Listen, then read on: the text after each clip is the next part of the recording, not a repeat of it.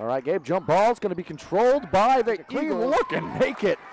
Gabe, that's how you get a game started right Wild there. basketball to start here. Two players from the own team fighting for the ball there for a second, but eventually up and in. Wild off. I say it. Patience not allowed here. Riddell now in transition. Right hand too strong and off the mark, but good follow on. Good matchup inside there. Page had her dribble shut off on the interior by Bowles. Olsen Fort with it now, now looking for the size mismatch inside, but well defended on the interior. Picks up the dribble now, double team, gonna be a steal into the hands of Joffrey. All the way left hand layup rolls in. Pass to Page, shot off the mark, but Smith good positioning inside. All over the floor. Joffrey, right hand, left side. To Smith, nice extra pass.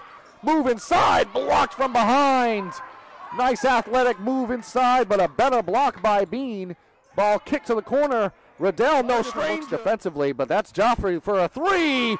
She liked the way that the ball game. Bagley, her three off the mark.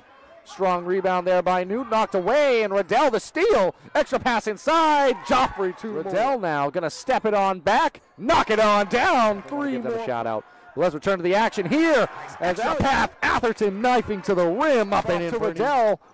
Her floater still is diving on the floor for loose balls. This late into a ball game, and it ends up in a Mason layup at the other end.